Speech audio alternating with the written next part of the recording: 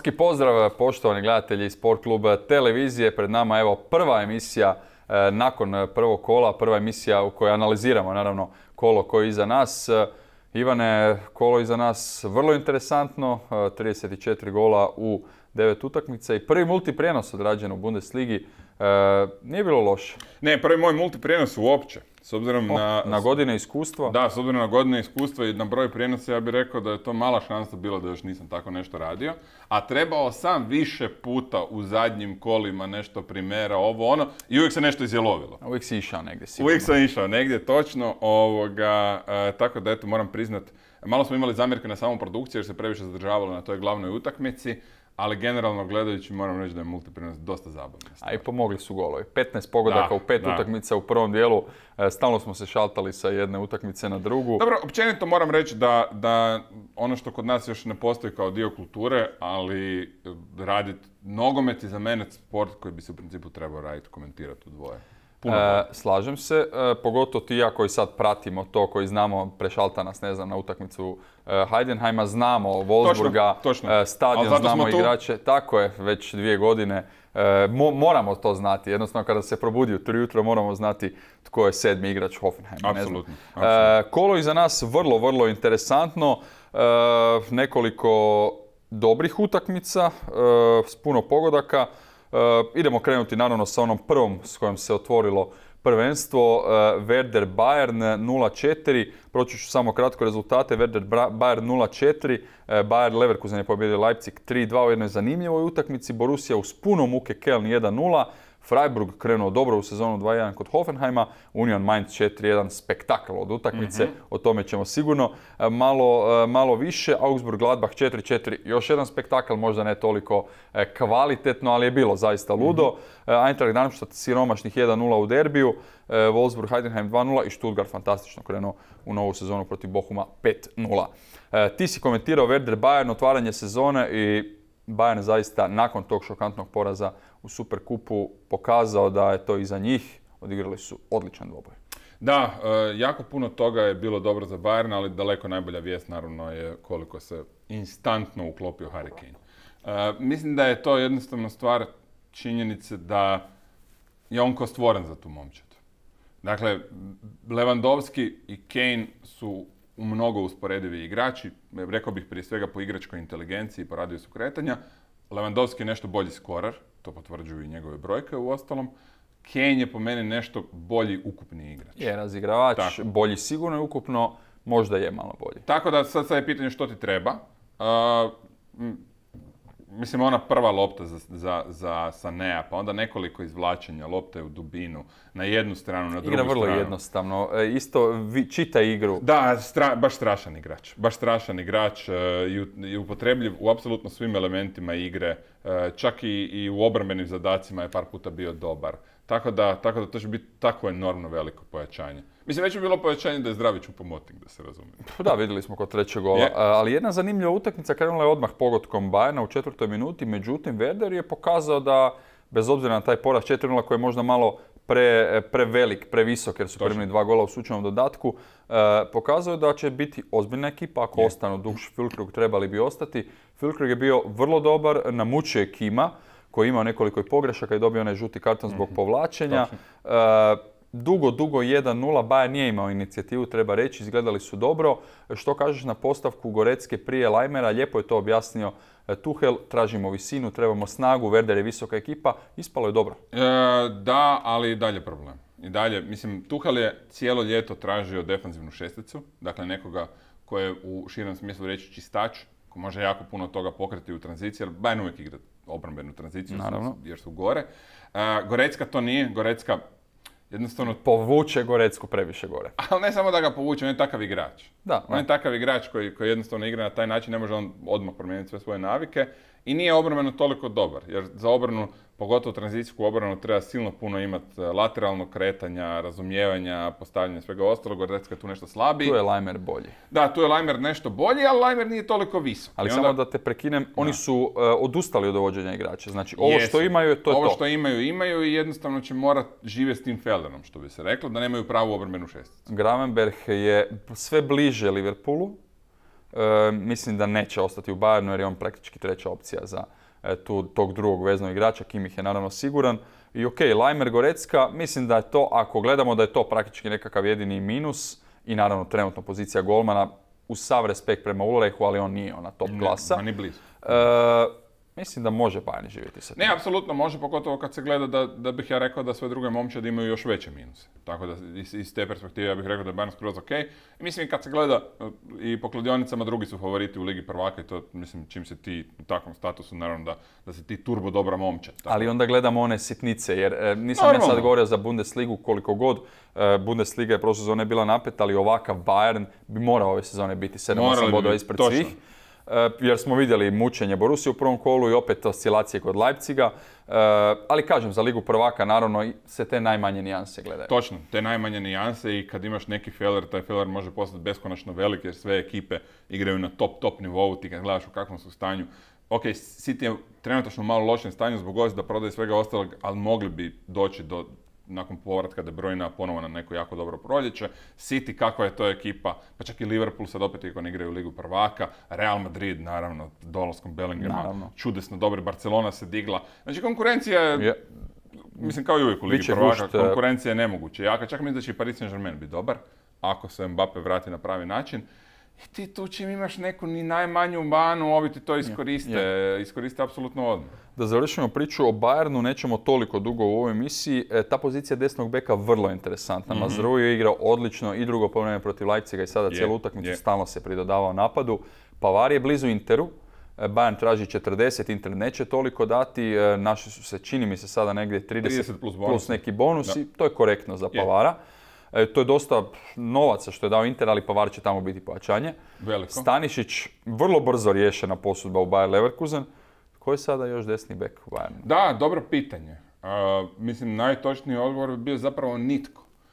Vjerojatno opcija B bi bila da se igra sa tri pa da Kimić igra desno krilo beka ako se Mazraoui ozlijedi. Ali nisam siguran da bi on bio oduševljen. Ne, sig- sigurno ne bi bio oduševljen, ali recimo tome se prilagodio za njemačku reprezentaciju gdje onda Gun- Gundogan ulazi u sredinu na zadnjem europskom prvenstvu, ne sad na svjetskom. A, tako da znamo da on to može odigrat, znamo da igrao je u prošlosti, igrao je manje više uvijek dobro. Igrao je u ostalom kad je Bayern e, osvojio Ligu prvaka, kad je u sredinu ušao Tiago na njegovo mjesto, pa igrao desnog beka, uvijek on to dobro. Ali znaš tko, ako će igrati sa tri, to će Koman igrati desno. E, moguće, točno. To je moguće. opcija, ali nisam siguran da Čak će, se, da će se Komana spuštati na če, u 4-4-2 na desnog beka, Neće. to je previše. Jer moramo, opet gledamo, moramo biti sitničavi jer ostao si na jednom beku praktički. Je, ja isto... Čudi me da se tako sa Stanišićem, mislim da je negdje puklo. A, da. Ti i ja kad smo pričali misliš da je došlo do ponude, da je Stanišić došao pred upravo i kaže želim igrati ili ne, ali mislim da tu ima malo više nečega. Ne znam, ne znam detalje, ali mislim da smo mu jednostavno odlučili izaći u susret, jer ima logike zadržati Stanišića ako znaš da Bavar odlazi. Točno to. Jer ti je opcija prva zamjena za desnog beka, prva zamjena za desnog stopera, čak je znao odigrati lijevog beka, sasvim korektno. Dakle, jedan takav univerzalac u statusu nešto slično kao Jakić u Eintrachtu, Da. ti jako dobro dođe. A u ostalom to će biti u Leverkusenu. Ali znaš što je problem? Problem je što teško Delicht i Kim mogu igrati beka, mogli bi teoretski, ali Upamecano je naravno ljevak i onda tu je malo nezgodno. jer Ne, niko od ovih neće igrati. Tako da e, moram priznati za Tuhela koji je perfekcionist, koji ništa ne prepušta slučaju, zanimljiva odluka i pratit ćemo Pa to još malo Tuhela do kraja. A dobro, ali opet... Jer da- Bayern, Bayern ima taj strogi, strogu, pogotovo sad, nakon one prošle sezone, gdje su na štih opet došli Rumeniga, Hönes i ovi starosjedioci. Dakle, čak i kad je Guardiola bio u Bayernu, nije ga se puno pitalo oko transfera. Ok, A- drugačije je sada malo postava, naravno, e, te uprave. Zanima me kako će to izgledati. I meni. Jedan bek e, nije, baš, nije baš bajno. E, bravo za Bayern, 5 plus, apsolutno početak sezone, Sané briljantan, Kane odličan, obojica su momčadi kola koji ćemo Koman nešto kasnije spomenuti, Koman također, šteta da je promašio, odnosno da je pogodio stativu. Bayern Leipzig, Bayer Leipzig, jedna čuda, evo napisao sam čudna utakmica.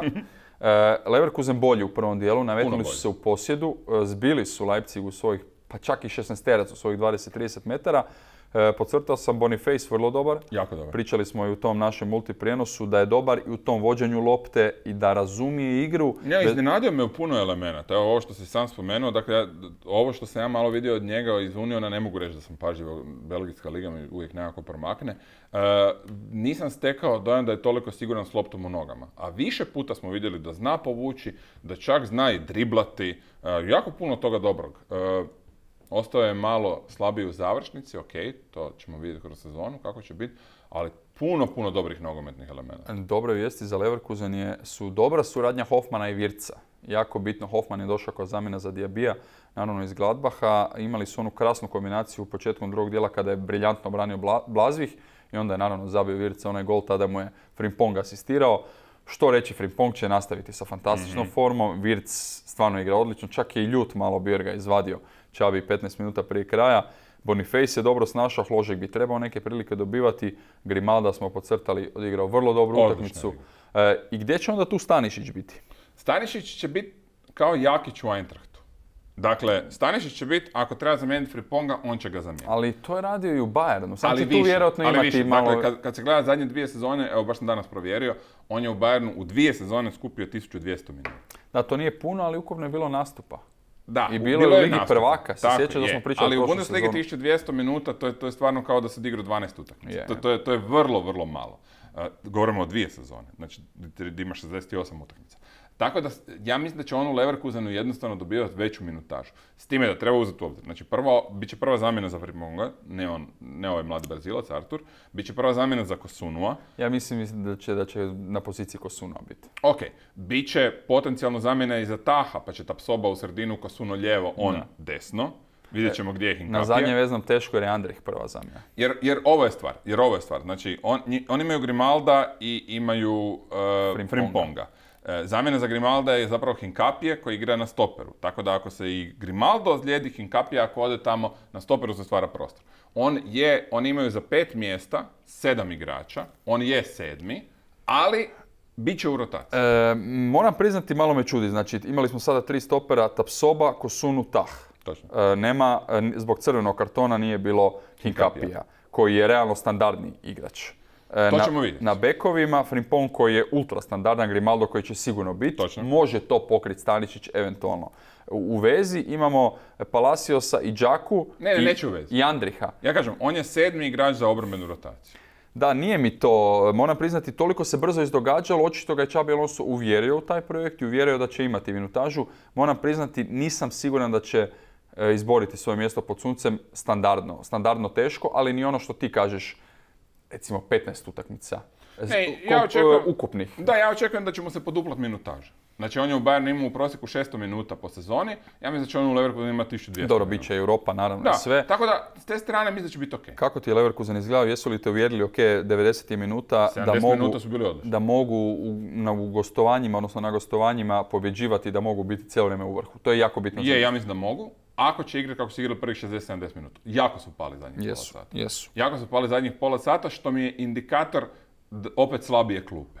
Ali to je to prokletstvo. Dakle, oni stvarno, ti kad daš njihovu prvu momčad, Ali nije bilo odmah da te prekinem Adlija i Hinkapija, oba crveni karton, oba su spremni. Ali ti neko biti ozlijeđen. Andrih koji ulazi, Stanišić sad i to je Hložek.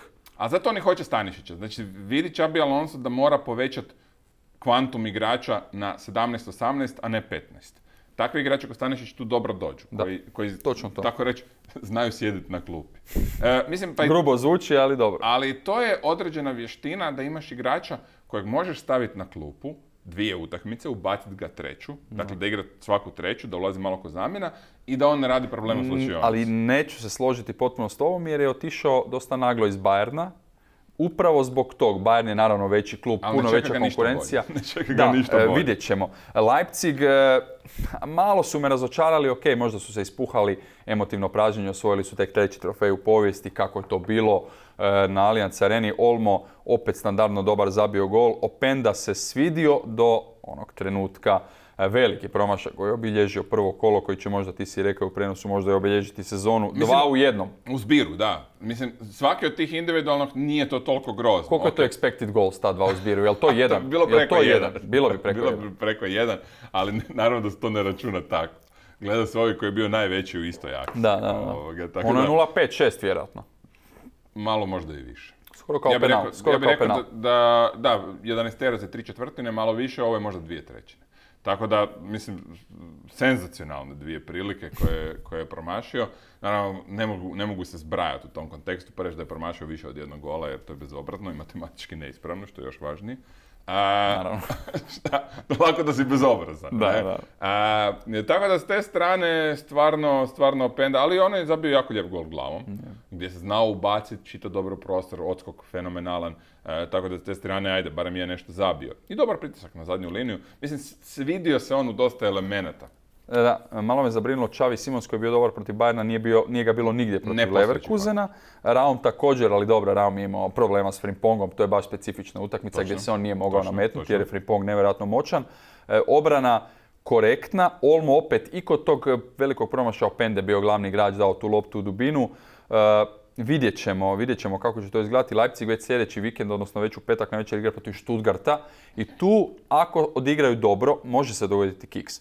Ali ako oni odigraju dobro i pokažu opet da je ta utakmica iza njih, onda ću im vjerovati. Ako ne, ako će biti mučenje, Mislim da se mi razumijemo, ne, ne postoji ekipa u Europi kojem bi bilo lako u Leverkusenu. Igrati protiv uh, koji je praktički Jasno. u kompletnom prvom sastavu. To, to je baš, mislim, vidjeli smo i na proljeće kad su u kompletno, a sad su se značajno pojačali. Prije svega sa, sa, sa Đakom.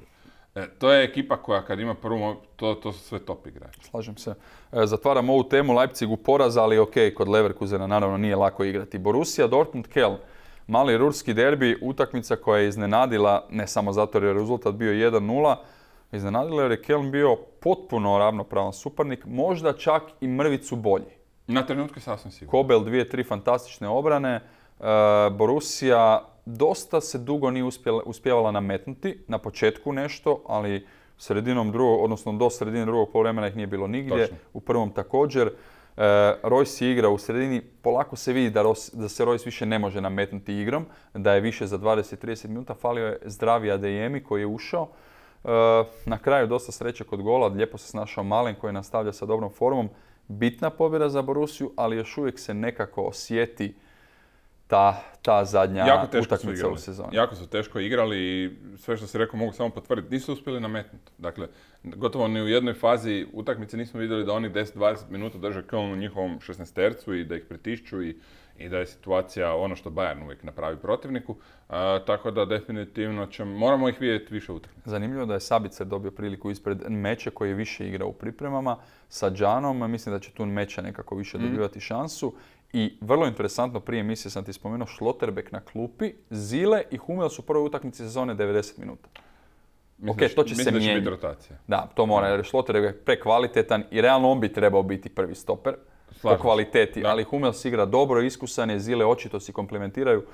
E, vrlo interesantno. Za Keln, kratko bih rekao, nisu puno mijenjali, ali došao je, došao je e, Pačarada na poziciju lijevog beka, njega smo hvalili na Značajno. kraju sezone, igrao odlično u Da, St. da, Pauliju. da, da. E, I došao je Waldschmidt na posudbu iz e, Wolfsburga, također jedan dobar igrač. E, onako, Keln će biti dobar. A bit će ko što su uvijek. Tu negdje oko desetog mjesta ne Ali to je za njih dobro. Ne, ne, Nemaju oni budžet nekakav. Ja ne, ne kažem da je to neuspjeh, ja samo kažem oni jesu to što jesu. Da, Borussia će morati bolje. Morat će. Nismo na Borussiji ste bili puno, e, nisu ni zaslužili e, u ovom prvoj utakmici. Idemo na Union Berlin Mainz. Nevjerojatna utakmica. E, hat-trick glavom Kevina Berensa, prvi nakon preko 25 godina u Bundesligi.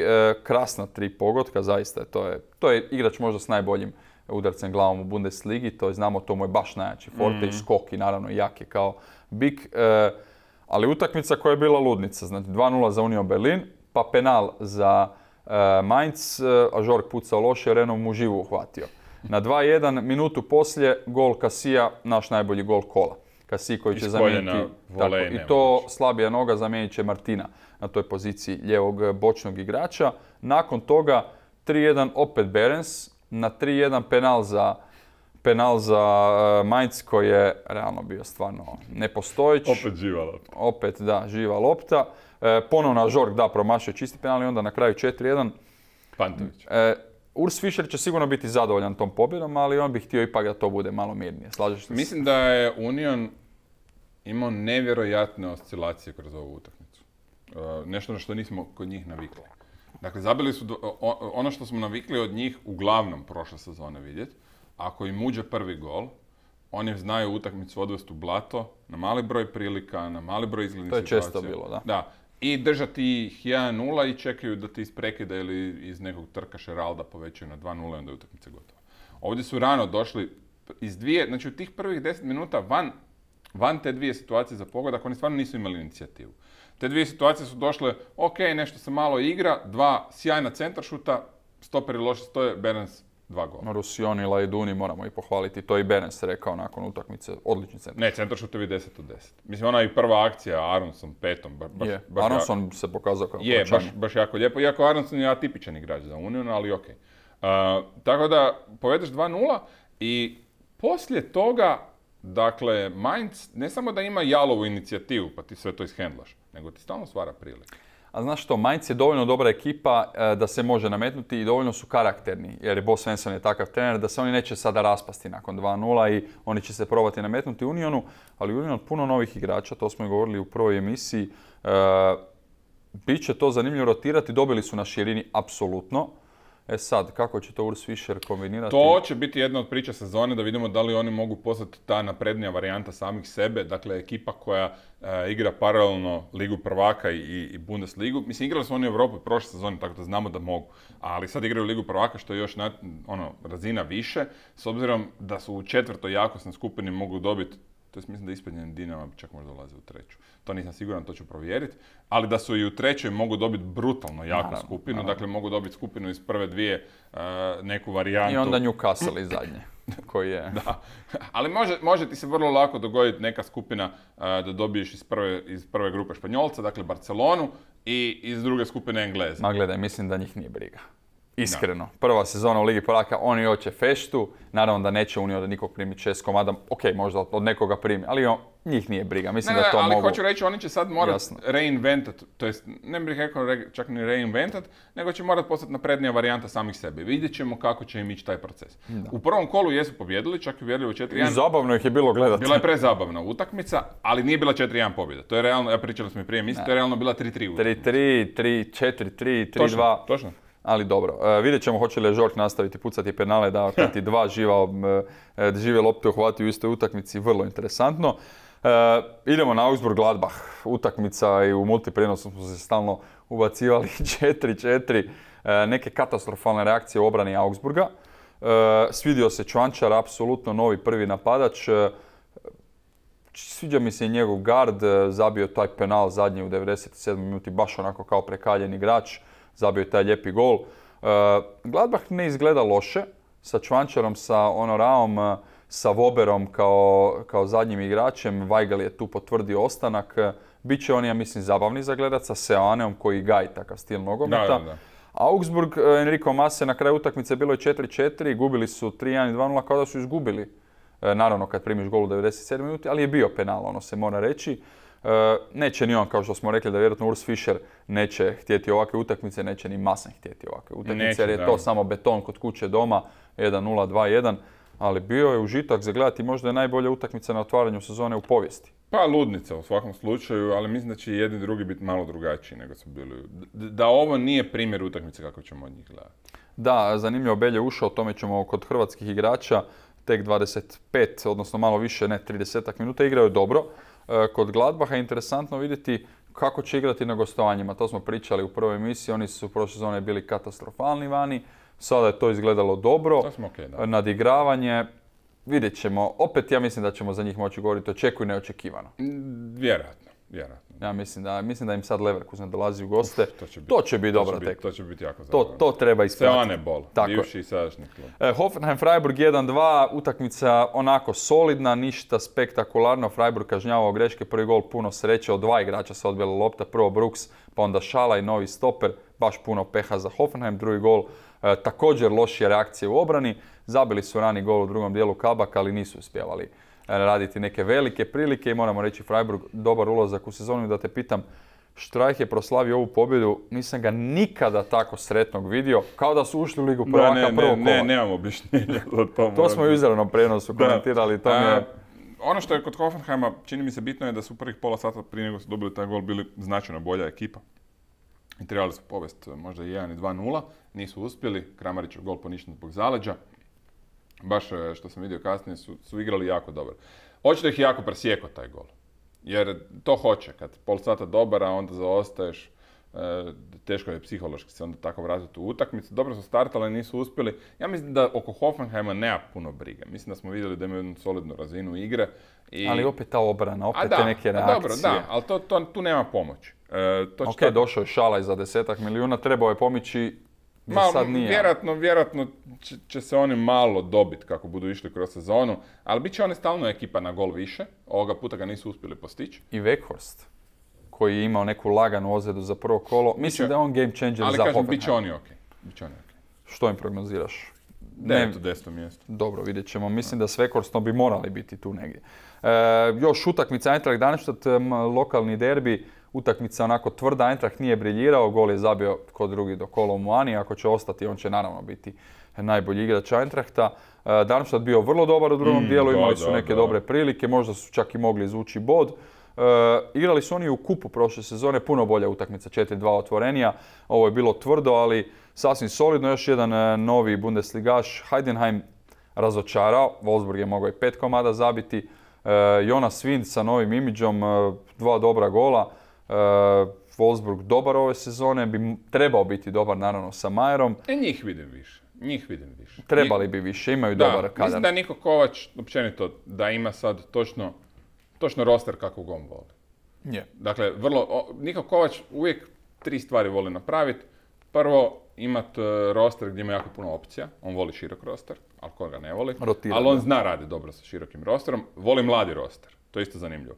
Dakle, on je njegov Monako s kojim je odradio fenomenalnu sezonu, bio praktički najmlađa momčad Europe. A on zna zašto voli mladi roster. Da, zato da može oblikovati igrača kako može biti željezna ruka. A da, to je okej. Takav je trener. U Bayernu je bilo problema. Da, ali okej, takav je trener. Ima, ima svoje principe i bolje radi sa mlađim nego sa iskusnim igračima. To je sve okej. I, i voli, voli igrat na tu neku njegovu disciplinu, da ima igrača koji to prihvaćaju i tako dalje, očito to je to. Tako da ja, tako da ja očekujem uh, da Wolfsburg Neću reći da će se uključiti u borbu za ligu prvaka, ali ne mislim da će biti daleko. Znaš što, i vlasnici to očekuju s obzirom kakav ugovor ima Niko Kovač, oko 3 milijuna eura pa godišnje, drugi najplaćeniji, drugi najplaćeniji igrač, naravno 30 milijuna eura za Majera, kojeg ćemo sada spomenuti kod hrvatskih igrača. I mislim da je Europa, neću reći pod mu za Wolfsburg, ali skoro pod mus. Ja mislim da top 6 je postavljeno kao zadatak za ovu sezonu. Tako je. Stuttgart Bochum, rapsodija Stuttgarta na otvaranju sezone, dva gola Silas, dva gola Girasi, asistencije Firih, asistencije Štencela, e, zaista su igrali briljantna atmosfera, znači kad ono gledam poželim otići odmah na stadion. Još nije skroz završena ona renovacija, bit će preko 60 tisuća. Spektakl Bochum je krenuo kako je krenuo, ali dobro od njih Znamo, da, da. da mogu idućoj utakmici pobijediti 1-0 nekoga. Ne, da, to je njima najnormalnije. Oni, znači, to je, to je klub koji najbolje podnosi teške poraze valjda na cijelom svijetu. Da, da. Karakterni su i slična ekipa je ostala, samo je bilo minimalno promjena. Idemo na kraju ovog prvog dijela za, na našu momčad kola. Sofa skora, nema tu nekih prevelikih iznenađenja. E, golman kola je mogao biti i Kobel s nekoliko odličnih obrana, ali Renov naravno dva penala je obranio fenomenalno. E, obrana Davis koji je bio briljantan u toj utakmici, Hummels kojeg smo apostrofirali da zaista igra jako dobro. Od kraja prošle sezone nastavio. Ozan Kabak zabio je gol, spriječio je gol, ali njegova ekipa izgubila. To je onda možda malo e, neki mali upitnik i Štencel 9-0 za obrambenog igrača, dvije asistencije, to krasne dvije asistencije, igrao je dobro u polju. Tu se slažeš sve, nema. Nema, nema greške, možda ovo kabak jer su izgubili, bilo je tu dobro, da. ali ok. E, to je jedini, pa nek bude jedan. Svamberg, ok, najmanja ocjena u momčadi kola sa Renovom, odigrao je dobru tu utakmicu, imao je asistenciju, zato je tu, ali ovaj trojac ispred stvarno Firih opet bio odličan za Stuttgart, dvije asistencije, Hoffman jako dobar za Bayer i ne, jedna od boljih utakmica u zadnje vrijeme. stvarno, ako će ovako igrati, to će biti za protivničke obrane veliki problem. Berens Kane u napadu, nema se što reći. I Vind je tu bio blizu sa dva gola, ali ipak Benes, ne znam zašto nije 10-0 šteta, što nije 10-0 hetri glavom, apsolutno naš e, igrač kola o kojem ćemo pričati u u sljedećoj emisiji malo ćemo više pričati o njemu u Union Berlinu. Jedna zanimljiva priča za Berensa, late bloomer, nešto kao i Dado Pršo. Dečko igra odlično sada. E. Tako je, Vardi, ali Vardi još čak malo ranije. Ranije, točno. Ali dobro, tek- kad si ovoliko visok i jak, onda možeš e, Istina. i kasnije. Berens je tek sa 30 godina upisao prvi nastup u Bundesligi, tako da je to vrlo lijepa priča. Evo, pola sata je već prošlo. Bum, bum, bum. E, falili su, na- falile su nam ove analize, tako da smo se e, raspričali o, o svemu Trebali tome. bi uvesti jednu dodatnu rubriku, a budemo sljedećeg tjedna, kojeg ću, kojeg ću ja organizirati. Proguraj malo u rundown A, naš. A, a to će biti rubrika e, kako smo prognozirali. Dakle, e, uzet ću ovako. E, ukidam, ukidam X kao prognozu. Dakle, e, Dobro. četvrtkom se prognozira samo jedna ili druga momčad. Ok. Ne? Nema ono golova, ne mogu se izvaditi, bit će golova ili neće biti Ne, golova. to može biti nešto dodatno za malo dodatnih bodova. Dakle, idemo na najjednostavniji, jedan ili dva. Uzet ću, uzet ću na, na kladionicama neki prošni koeficijent e, win no bet. Dakle, ako bude x, poništava se. I vidjet ćemo koliko je ko u plusu ili u minusu. Nakon nekih deset kola bi trebali neki izazov. Ne, Ko- revizija ko nakon bude- svakog kola koliko si donio plusa ili minusa na standardni ulog. Znači fiksni standardni Može. ulog, 10, 100 tisuća, svejedno. Znači okrugla brojka. I ja ću voditi Excelicu. Ali ko je, ko je loši, treba nešto napraviti u, evo, u emisiji. Ili popit nekakav miks. Će- Nećemo e, nužno alkohol, evo, mogu- nego nešto. mogu- gledateljima ćemo dati možda ovoga... Voda od krastavaca, da- pola litre vode od krastavaca. Ko izgubi ili tako nešto slično. one krastavce na očima nositi, možda. A dobro, nećemo sada da nam se gledatelji izgražaju, ali dobro, nešto hoćemo. Ali jel ti se sviđa ideja? A uvijek sam za, uvijek sam za neki, Dobro, dobro. za neki Moram, gambling moram ti lagani. reći da sam već u velikom A, već si zapamtio. već sam u velikom vodstvu. Zato si ti to ubacio, a ne Normalno. veze, prihvaćam izazov. Normalno. Idemo na naša tri najbolja gola kola, prvi najbolji golovi u novoj sezoni. E, bilo je tu e, zanimljivih pogodaka, jedan koji se ističe vidjet ćete u e, sljedećih minutu i pol. Rekli smo već igrač Mainza Kasi sa desnom nogom vole, onako prednji vole koji rijetko kada viđamo iz teške situacije, krasan pogodak. Za 2-1 tada je to još bio ozbiljan gol. Da, da, da, Bitan da, gol. da, da, E, Kevin Beres prvi pogodak, e, krasna akcija zaista, Aronson, Roussillon e, i samo se onako nagnuo glavom u drugi kut. Baš, Jako težak baš je to lijepo. Jako težak. Baš je to lijepo izgledalo i Ređbeća, igrač Augsburga, onaj top s 26-7 metara, nitko to nije Ali iz ničega. Iz Ni. Omlin na golu Gladbaha, ni obrana Gladbaha. I to je također bio gol za 1-2, na kraju su Vrlo važan gol, da. E, ne, ali ono je, znači čovjek je pogodio.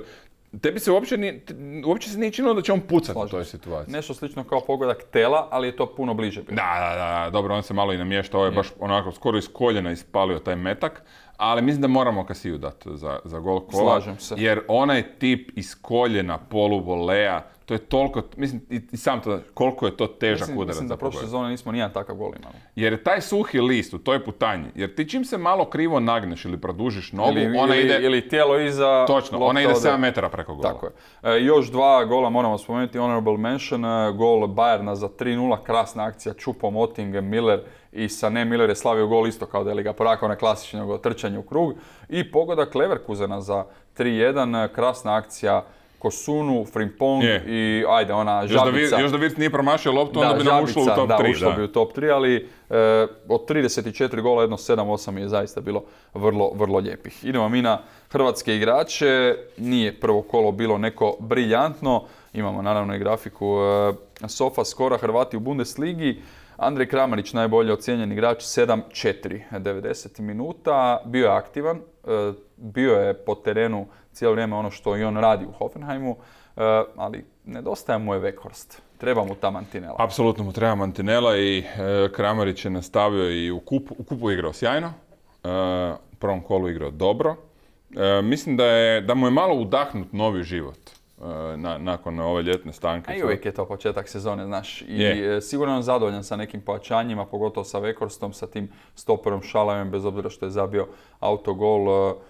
Mislim da Hoffenheim bi Je, je, trebao e, gajiti. Kažem, iako su izgubili u prvom kolu, ne, nemam negativni feeling prema njima. Da, protiv Freiburga koji će uvijek biti dobar. Točno. e, Šesto mjesto, peto mjesto. Znamo što Freiburg cilja ove sezone, četvrto mjesto, ali mislim da će biti teže nego ikad.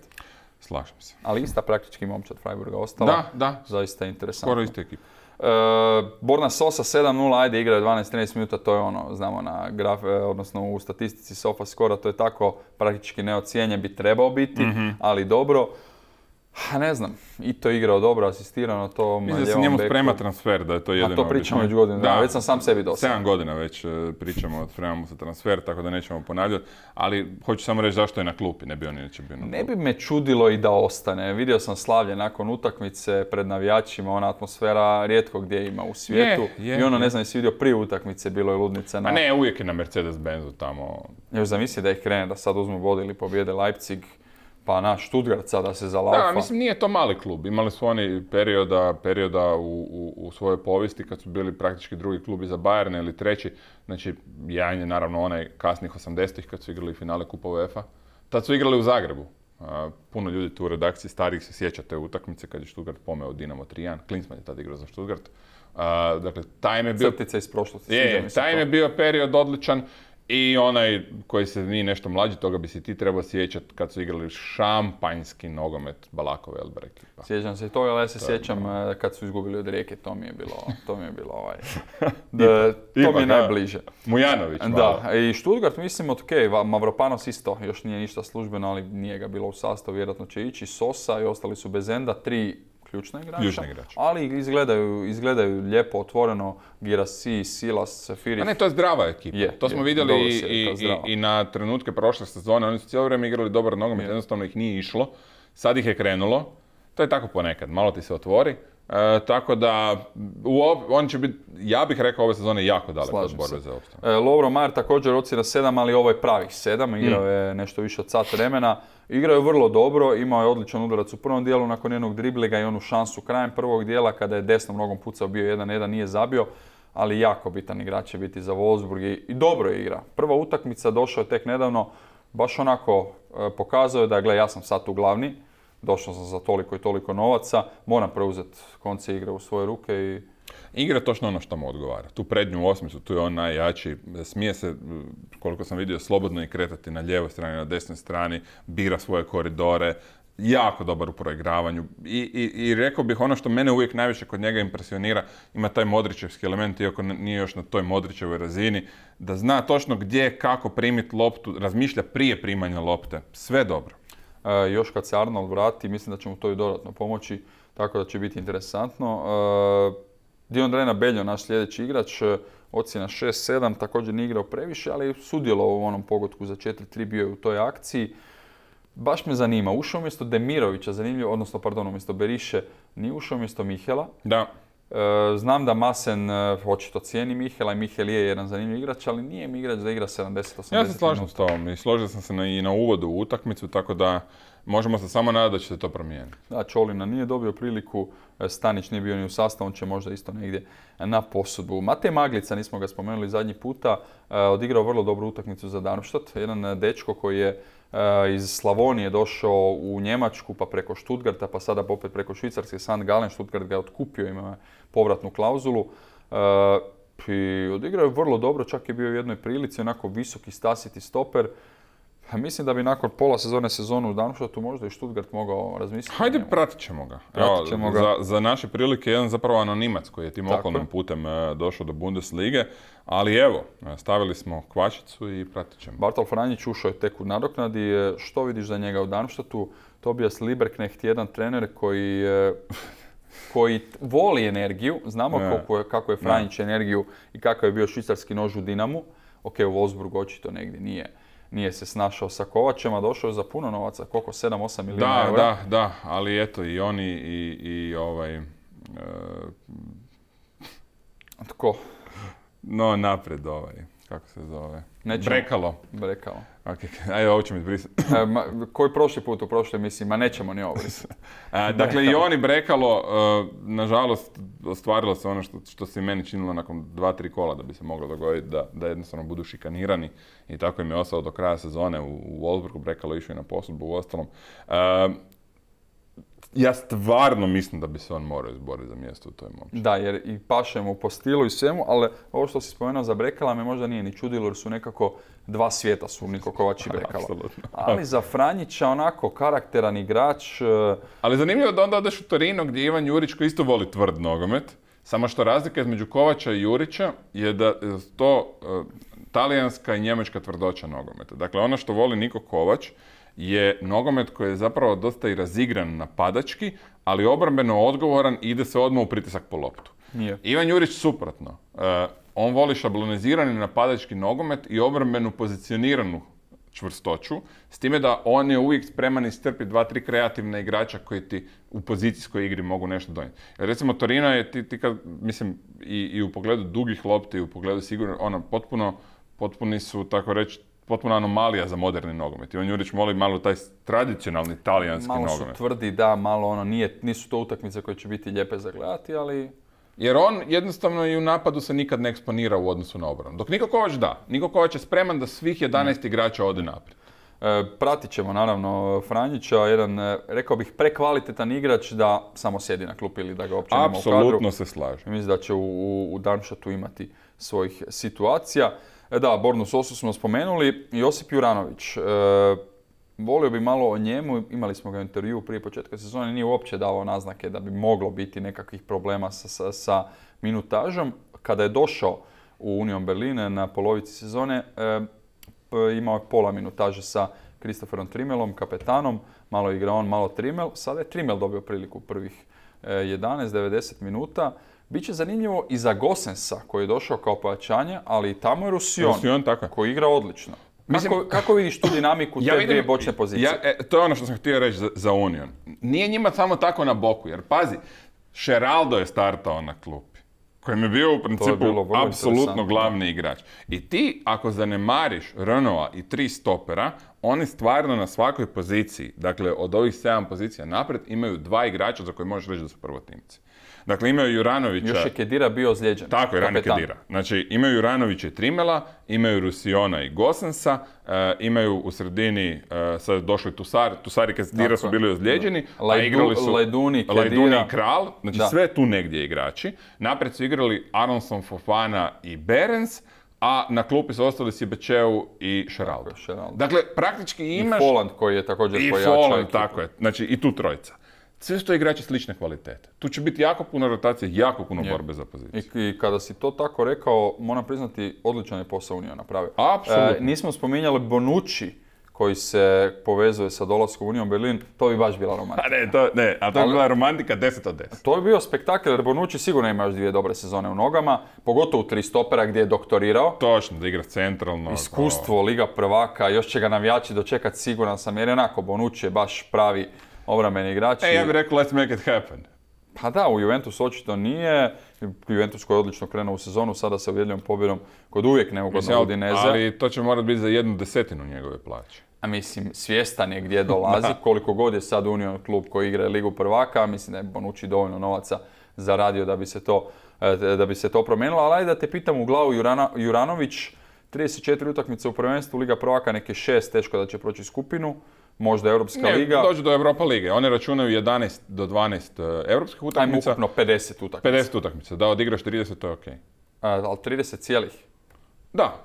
Misliš li da bi Juranović s tim bio zadovoljan? Bez obzira što je on e, totalno prizemljen nogometaš i dečko, ali Pa šta će ti više? došao si kao veliko pojačanje. Ma meni On, mislim, pusti kako to, Juranović hoće svih 50. Ok, dobro, ali meni se čini da svaki igrač koji nije ova baš top, top, top Dobro. klasa bi s tim trebao biti. ok. Misliš li da ima neko u Unionu ko bi mogao biti nezadovoljan? Možda Geraldo Becker? Geraldo nije mentalitet koji će to trpiti, s time se slažem, pogotovo nakon što je toliko dao klub. A, ali je puno pričao da voli biti u Unionu i da e, voli taj cijeli proces.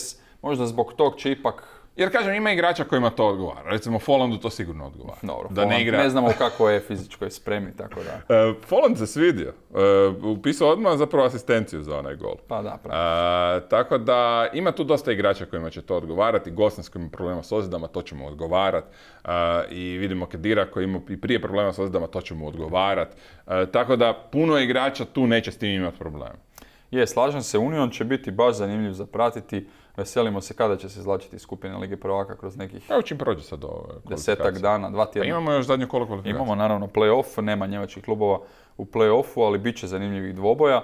E, hajmo kratko još, ajde sad kad smo na tome digresija, četiri njemačka kluba u Ligi prvaka, opet daje šanse, što jedan imamo, će sigurno ovo- proći. ima tri- imamo ova tri standardna. E, Dakle, e, ono što je dobro za Borussiju i Leipzig, jako dobro, je da su u drugoj jakosnoj skupini. Dakle, izbjegavaju puno, puno ovih problematičnih, e, problematičnih I odmah ekipa. su blagi favoriti da prođu skupinu. E, točno. E, ono što im je, e, ono što je opet dobro, je ovi koji su nositelji, koji su ili prvaci ili osvojači, oni stvarno mogu dobiti nekog nositelja od kojeg su jači. Dakle, jer oni mogu dobiti Sevilju, ja bih rekao da su i Leipzig i Dortmund jači od Sevilje. Trenutno jesu, makar se Vilja u super Ne, ne, ne, igrala sve u redu, sve u redu. odlično. Ali ja kažem, gener- malo su jači. Mogu dobiti uh, Feyenoord, uz kojeg su jači. Mogu dobiti Benfiku, s kojim su barem tu negdje. Al Paris, Benfica, Da, tu, uvijek ne- dobra. tu negdje. To ti je već skoro pola pr- i ne mogu dobiti Bayern. Znači, znači već skoro polovica prve jakosne da si 50-50. E sad ako dobiješ City, Barcelonu, Paris Saint-Germain, A ganjaš drugo mjesto, jasno. onda, onda je to malo lošija varijanta, ali barem imaš puno, e, s time da i Napoli, A s gdje kojim su tu negdje. svrstavaju s Talijanima? Ne, baš sam te htio pitati jer smo ti ja imali neku Da. priču, ne vjeruješ Napoli ove sezone i to je u redu. E, ja im vjerujem. Ok. E, gdje ih svrstavaju s Milanom, Interom, Leipzig recimo? Ili je to Al Paris? Ja bih rekao da su, s time da. Milan i Inter meni nisu isto. Da se tu odmah razumijemo. Znači Inter ti ispred. In- Inter mi je dosta ispred, da. A, rekao bih da su s Interom i Napolijem, ako računam da je i Napoli tu negdje, tu negdje, od Milana su bolji. Tako da, evo, tako bih ih rangirao. Dakle, čak četiri ekipe e, iz prve jakosne s kojima su ili tu negdje ili čak malo bolji, tri s kojima su problematične, onda iz treće jakosne si manje više od svih bolji, iako i tu ima naravno zamki, ali možete pokupiti neki vrlo dobar ždrijeb, Rangers zvezda. Uf, da. Dakle, ti možeš dobiti stvarno Ali neće Rangers proći PSV-a. Dvije E, ok, slažem se, ali stvarno te može pogoditi jako dobra grupa, gdje si praktički prvi favorit. To je to prokletstvo, to je to prokletstvo ždrijeba. A možete pogoditi grupa da si misliš pa što je meni ovo trebalo. Dakle, dobiješ iz prve skupine Barcelonu i zadnje skupine Newcastle, sad imaš dvije ekipe od kojih nisi jači. Da, odmah je to Newcastle pogotovo koji je ove sezone Ajmo reći da si s Newcastle tu negdje. tu negdje. Ajde, možda imaš više iskustva u Europi pa zato. Ali kažem, dakle, dakle ima tih par ima tih par ekipa, a obje njemačke iz tog drugog pota tu spadaju, kojima je ždrijeb sve. E, imamo još Stanišića koji je prešao Bayer Leverkusen, o njemu smo e, pričali već i Nikola Soldo koji je otišao na posudbu u Kaiserslautern, dobra odluka jer nije bio u planovima e, u Kelnu, nadamo se da će tamo skupiti minutažu, Cvajti naravno jaka liga, mislim da bi mu ta liga mogla odgovarati, onako on je šarf igrač. Ali evo vidimo što se dogodilo. E, možete i u Ajax odvesti druga Bundesliga. Da, Medić prva utakmica fantastična, u drugoj je kiksao, ali dobro, to je isto, naravno sada je šutalo, čestitamo šutalo na transferu u Ajax koji treba reći nije onaj Ajax od prije 3-4 sezone, ali je Ajax. Ali grade jako dobru generaciju. Ima tu baš zanimljivih igrača, imali su čitav niz dobrih akvizicija. Ali E, treba vidjeti hoće li otići Kudus, to im je, to, To im je glavni jako igrači, onda A mislim kako stvari stoje. od- otpalo je West nešto i sa West, ali se, opet sam čuo da je i s West Hamom problemi, ono s Brightonom su se Ne, sa- povampirili Sa menadžeri, West htjeli Hamom je više novac. problem jer je West Ham očekivao dobiti tu lovu od pakete i onda da imaju za Kudus, sad je paketa Da, zapeo. da. Tako da bi Kudus Jedno- zapravo mogao i ostati. Jedno vuče drugo. Da. E, samo za sami kraj emisije, od koga najviše očekuješ ove sezone? Nema nam Guardiola. E, je li to Majer? Je li to. Majer? Ne, čak uvjerljivo Majer. Mislim, pri tome ne mislim Kramarić znamo što će nam dat. Sosa ako ostane znamo što će nam dat. To- Juranović, to za još mene nisu mali upitnici, upitnik s obzirom ali, na Ali manje više sve. znamo, ali manje više znamo. Ja očekujem da Majer postane skoro pa glavni igrač Wolfsburga. Da se propne, uh, neću reći u elitu, ali na to neko mjesto malo ispod elite koje po meni njemu pripada. To je prva stvar. I drugo, očekujem da Stanišić ima zdravu rotaciju u Leverkusenu i da pokaže da može biti protuteža toj njihovoj zadnjoj liniji koja je nevjerojatno progresivna i nevjerojatno fizički dominantna, Ali i im pa- hektična. ali je hektična. Da. Hektična je vrlo Baš ispravan. sam tu riječ, e. Vrlo ispravan pojam i ja mislim da on njima može dati malo stabilnosti, jer je on sve suprotno od toga. Slažem se. dakle, e, ja recimo Stanišića kao igrača silno volim iz jednostavnog razloga što on ima toliko lošije fizikalije od prosječnog stopera pa i beka, a svejedno može igrati na top razini nogometa. Znači, to da imaš toliko loše fizikalije ti je najveća moguća pohvala. Ne, on je vrlo inteligentan igrač i to smo e, rekli. O Majeru ja isto stvarno e, volim ga gledati kao igrača, ali nisam još 100% uvjeren da ima taj mentalitet da može iz kola u kolo nositi ćemo vidjeti, to ćemo vidjeti.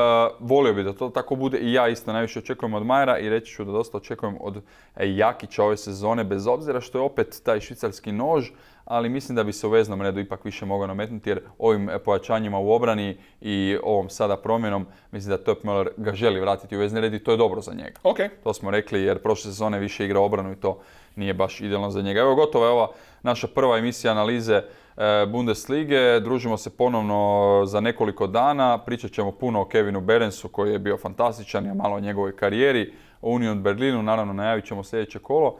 Imat ćemo još nekoliko intervjua, malo vidjeti kako tišu e, klubovi na samom početku sezone. Ivane, hvala ti. Hvala te. E, vidimo se ponovo za nekoliko dana. Poštovani gledatelji, nadam se ste uživali. Prvo kolo Bundeslige je bilo fantastično, puno pogodaka, puno dobrih utakmica.